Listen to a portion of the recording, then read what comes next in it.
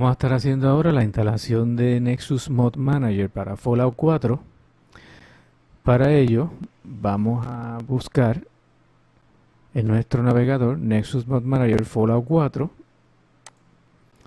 Vamos a ir a la página de Nexus Mod para el juego de Fallout y en la parte de arriba tenemos el botón para instalar el Nexus Mod Manager en la versión 0.65.2 escogemos nuestro sistema operativo, en mi caso es Windows 10, y luego en el área de los archivos descargamos entonces el programa.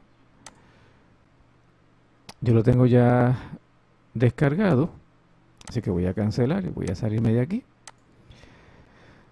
Una vez lo descargue, vamos a hacerle doble clic y comenzamos la instalación por lo general, cuando llegamos a esta parte, lo que les va a decir aquí es la, dirección de instalación por defecto que él tiene, que es en C Program File. Yo ya lo había instalado y lo, lo desinstalé para hacer el video. Y obviamente, pues, esta es la ruta que yo le estoy indicando. Si ustedes tienen el juego eh, instalado en otro disco, lo que van a hacer es que van a ir al botón de Browse y van a buscar dónde lo tienen instalado. Para entonces darle esa nueva ruta. En mi caso yo lo tengo en el disco D, en la carpeta de Games, Fallout 4. Esta parte de aquí, Nexus Mod Manager, no, no tienen que escribirlo. Eso automáticamente lo pone. Si lo escriben, le va a hacer dos carpetas. Le va a hacer esta y otra más. No lo escriban, solamente buscan el juego, por ejemplo, yo busqué en el disco de Games Fallout 4 y ella automáticamente ya va a crear la carpeta. Una vez tengamos eso ya hecho, le damos Next, dejamos todo esto así y lo instalamos.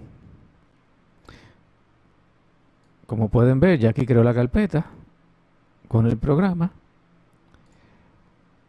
y le damos a terminar. Una vez terminamos y dejamos el,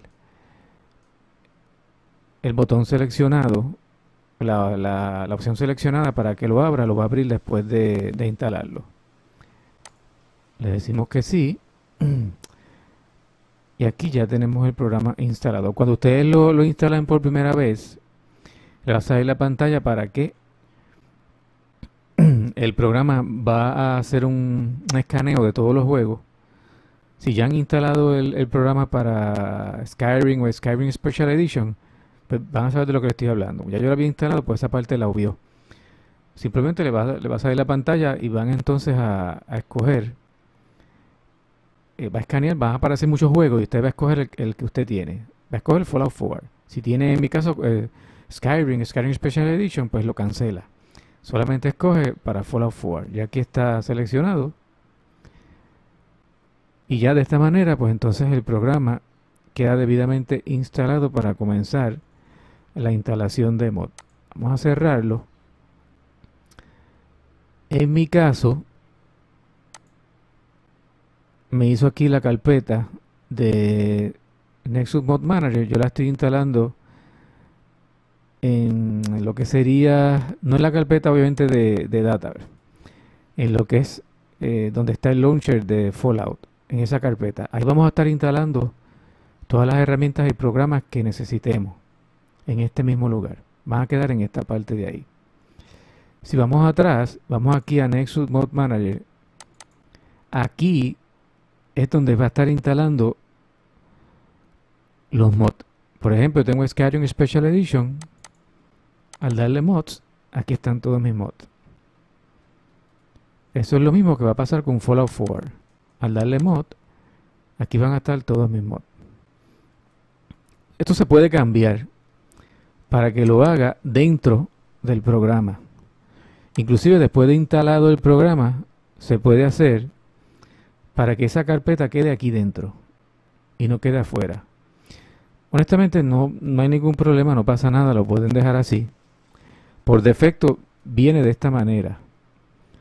Viene para para que ella cree una carpeta afuera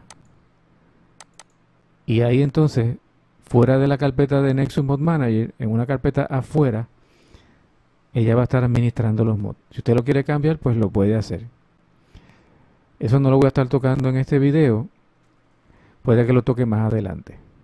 Pues de esa manera ya tenemos entonces el, nuestro Nexus Mod Manager instalado para entonces proseguir con nuestra instalación de mod de el juego Fallout 4. Hasta la próxima.